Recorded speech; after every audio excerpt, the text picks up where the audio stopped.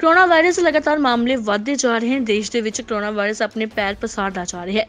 ਗੱਲ ਕਰੀਏ ਸ਼੍ਰੀ ਅਨੰਦਪੁਰ ਸਾਹਿਬ ਦੀ, ਤਾਂ ਅਨੰਦਪੁਰ ਸਾਹਿਬ ਦੇ ਵਿੱਚ ਹੋਲਾ ਮਹੱਲਾ ਦੌਰਾਨ ਇੱਕ ਵਿਅਕਤੀ ਜੋ ਕਿ ਵਾਇਰਸ ਨਾਲ ਪੀੜਤ ਦੱਸਿਆ ਜਾ ਰਿਹਾ ਸੀ, ਉਸ ਤੋਂ ਬਾਅਦ ਸ਼੍ਰੀ ਅਨੰਦਪੁਰ ਸਾਹਿਬ ਨੂੰ ਵੀ ਸੀਲ ਕਰ ਦਿੱਤਾ ਗਿਆ ਸੀ। ਕਿਉਂਕਿ ਇਸ ਦੇ ਨਾਲ ਸ਼੍ਰੀ ਅਨੰਦਪੁਰ ਸਾਹਿਬ ਦੇ ਵਿੱਚ ਵੀ ਹੋਰ ਕਈ ਮਾਮਲੇ ਸਾਹਮਣੇ ਆਉਣ ਲੱਗ ਪਏ ਸੀ। ਹੁਣ ਉੱਥੇ ਹੀ ਪ੍ਰਸ਼ਾਸਨਿਕ ਅਧਿਕਾਰੀਆਂ ਦੇ ਵੱਲੋਂ ਲੋਕਾਂ ਨੂੰ ਅਪੀਲ ਕੀਤੀ ਜਾ ਰਹੀ ਹੈ। ਪ੍ਰਸ਼ਾਸਨਿਕ ਅਧਿਕਾਰੀਆਂ ਦਾ ਕਹਿਣਾ ਹੈ ਕਿ ਜਿਹੜੀ ਵੀ ਸੰਗਤ ਹੋਲਾ ਮਹੱਲਾ ਦੌਰਾਨ ਗਈ ਸੀ, ਉਹ ਲੋਕ ਇੱਕ ਵਾਰ ਜ਼ਰੂਰ ਆਪਣਾ ਇਲਾਜ ਜਾਂ ਆਪਣਾ ਟੈਸਟ ਜ਼ਰੂਰ ਕਰਵਾ ਲੈਣ।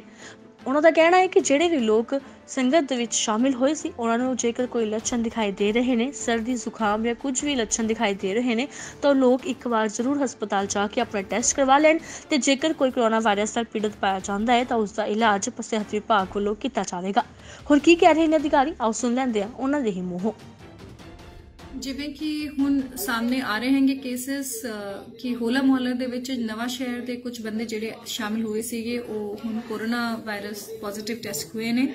ਇਸ ਤੋਂ ਹੀ ਬਚਾਅ ਵਾਸਤੇ ਸਾਰੇ ਲੋਕਾਂ ਨੂੰ ਇਹ ਅਪੀਲ ਕੀਤੀ ਜਾਂਦੀ ਹੈਗੀ ਕਿ ਜੇਕਰ ਉਹ 7 ਮਾਰਚ ਸੇ ਲੈ ਕੇ 10 ਮਾਰਚ ਤੱਕ ਹੋਲਾ ਮੁਹੱਲਾ ਆਨੰਦਪੁਰ ਸਾਹਿਬ ਦੇ ਵਿਖੇ ਸੀਗੇ ਤੇ ਨਗਰ ਕੀਰਤਨ ਤੇ ਲੰਗਰ ਸੇਵਾ ਕਿੱਥੇ ਵੀ ਸੀਗੇ ਤੇ ਹੁਣ ਉਹਨਾਂ ਨੂੰ ਕੋਈ ਵੀ ਬੁਖਾਰ, ਸਰਦੀ, ਖਾਂਸੀ ਦੀ ਕੋਈ ਸਮੱਸਿਆ ਹੋ ਰਹੀ ਹੈਗੀ, ਉਹ ਤੁਰੰਤ ਆਪਣੇ ਨਜ਼ਦੀਕੀ ਸਵਾਸਥ ਕੇਂਦਰ ਤੇ ਮੈਡੀਕਲ ਸੈਂਟਰ ਤੇ ਜਾਣ ਤੇ ਆਪਣਾ ਚੈੱਕਅਪ ਕਰਾਉਣ ਤਾਂ ਕਿ ਇਸ ਤੋਂ ਬਚਾਅ ਹੋ ਸਕੇ। ਇਨ ਲੋਕਾਂ ਇਨ ਲਕਸ਼ਣਾਂ ਦਾ ਪੂਰਾ ਪੂਰਾ ਬਿਊਰਾ ਟੀਵੀ ਤੇ ਤੇ ਮੀਡੀਆ ਤੇ ਪੂਰਾ ਆ ਰਿਹਾ ਹੈਗਾ। ਇਹ ਆਪ ਸਾਰਿਆਂ ਤੋਂ ਅਪੀਲ ਹੈ ਕਿ ਜੇਕਰ ਆਪ ਹੋਲਾ ਮੁਹੱਲੇ ਦੇ ਵਿੱਚ ਸ਼ਾਮਿਲ ਸੀਗੇ ਤੇ ਆਪ ਨੂੰ ਕੋਈ ਵੀ ਲੱਛਣ ਕੋਰੋਨਾ ਵਾਇਰਸ ਦੇ ਸੰਬੰਧ ਜਿਵੇਂ ਕਿ ਬੁਖਾਰ, ਸਰਦੀ, ਖਾਂਸੀ ਦਾ ਲੱਗ ਰਿਹਾ ਹੈਗਾ। ਤੁਰੰਤ ਆਪਣੇ ਨਜ਼ਦੀਕੀ ਸਵਾਸਥ ਕੇਂਦਰ ਜਾ ਕੇ ਚੈੱਕਅਪ ਕਰਾਉਣ ਤਾਂ ਕਿ ਆਪਕੇ ਪਰਿਵਾਰ ਦੇ ਲੋਕਾਂ ਨੂੰ ਵੀ ਕੋਰੋਨਾ ਵਾਇਰਸ ਤੋਂ ਬਚਾਇਆ ਜਾ ਸਕੇ। ਖੈਰ, ਲਗਾਤਾਰ ਵੱਧ ਰਹੇ ਕੋਰੋਨਾ ਵਾਇਰਸ ਦੇ ਮਰੀਜ਼ਾਂ ਦੀ ਗਿਣਤੀ ਨੂੰ ਵੇਖਦੇ ਹੋਏ ਪ੍ਰਸ਼ਾਸਨ ਅਤੇ ਸਿਹਤ ਵਿਭਾਗ ਦੇ ਵੱਲੋਂ ਲਗਾਤਾਰ ਪ੍ਰਬੰਧ ਕੀਤੇ ਜਾ ਰਹੇ ਹਨ ਤਾਂ ਜੋ ਇਸ ਵਾਇਰਸ ਦੇ ਨਾਲ ਪੀੜਤ ਲੋਕਾਂ ਦਾ ਇਲਾਜ ਕੀਤਾ ਜਾਵੇ ਤੇ ਵੱਧ ਤੋਂ ਵੱਧ ਲੋਕਾਂ ਨੂੰ ਹੋਰ ਇਸ ਵਾਇਰਸ ਤੋਂ ਬਚਾਇਆ ਜਾ ਸਕੇ।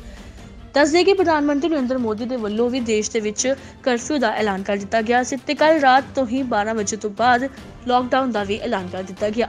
ਪੂਰੇ ਭਾਰਤ ਦੇ ਵਿੱਚ 21 ਦਿਨਾਂ ਤੱਕ ਲੋਕਡਾਊਨ ਹੈ, ਜਿਸ ਦੇ ਕਾਰਨ ਲੋਕਾਂ ਨੂੰ ਆਪਣੇ ਘਰਾਂ ਵਿੱਚ ਹੀ ਰਹਿਣ ਲਈ ਕਿਹਾ ਗਿਆ ਹੈ। ਕਿਉਂਕਿ ਇਹ ਵਾਇਰਸ ਤਦ ਤੱਕ ਤੁਹਾਡੇ ਘਰ ਨਹੀਂ ਆ ਸਕਦਾ ਜਦ ਤੱਕ ਤੁਸੀਂ ਇਸ ਨੂੰ ਖੁਦ ਲੈ ਕੇ ਨਹੀਂ ਆਉਂਦੇ।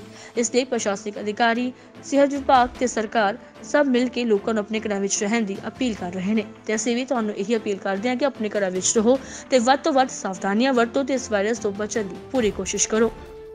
Bureau report, Spokesman TV.